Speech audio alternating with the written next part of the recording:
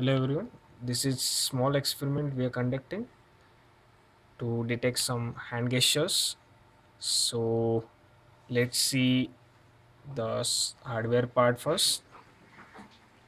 As you can see, this is one USRP device. Uh, it has two transmitting antennas and two receiving antennas.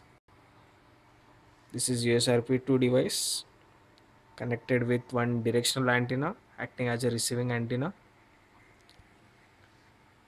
So let's see the software part. We are using GNU radio. So you can, as you can see, this is the flow graph for our experiment. We are using two signal source. One is passing through variable delay and this is the USRP receiver.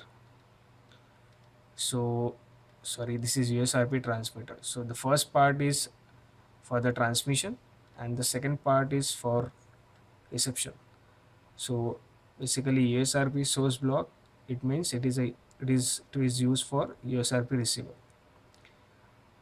So we are taking the magnitude and it is passing through threshold. So whenever the amplitude of the received signal is greater than threshold, we are allowed to pass one signal so that is sine wave to the audio sink. It means whenever the amplitude of the received signal is greater than threshold, you can receive one buzzer sound of frequency 10 kilohertz.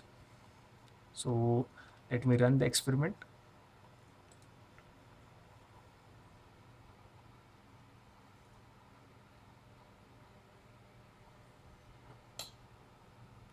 As you can see the output, let me maximize.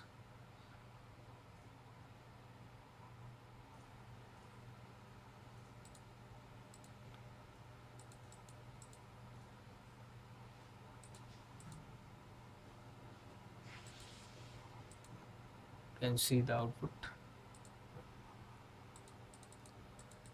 Sorry. So this is the output. So let me show whenever I'm moving my moving my hand between the direction of transmission and receiver receiver you can hear the sound.